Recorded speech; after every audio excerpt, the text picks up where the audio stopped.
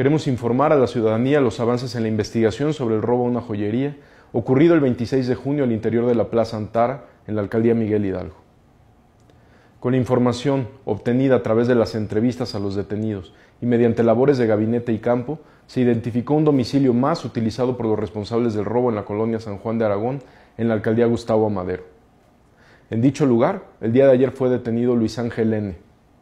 Esta persona, de nacionalidad colombiana, a quien se le aseguró un arma de fuego, así como cartuchos útiles y equipos telefónicos, de acuerdo con las investigaciones, Luis Ángel N. fue identificado como otro de los autores materiales del robo a la joyería.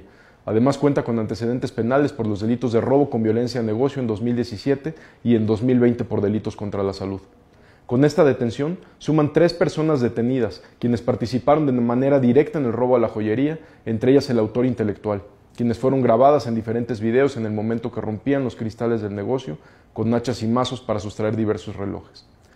Desde el día de los hechos, nos comprometimos a detener a todos los involucrados y hoy estamos dando un paso más para cumplir este propósito. Agradecemos el apoyo de la Fiscalía General de Justicia de la Ciudad de México por esta investigación que se ha hecho de manera en conjunto con ellos, así como el Centro Nacional de Inteligencia del Gobierno Federal. Queremos que la ciudadanía tenga la seguridad que cuenta con una policía alerta, que actúa ante cualquier delito y que vamos a detener a todos los responsables de este hecho tan lamentable.